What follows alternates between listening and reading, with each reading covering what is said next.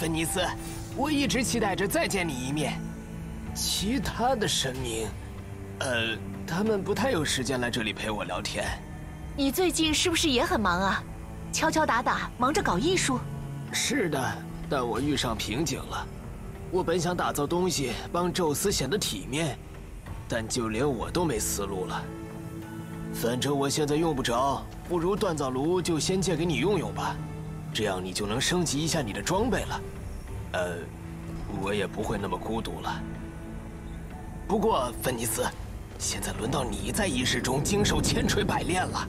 呃 你你你听出来了吗？千锤百炼。都是我的老本行，哎，还是让赫尔墨斯讲笑话吧。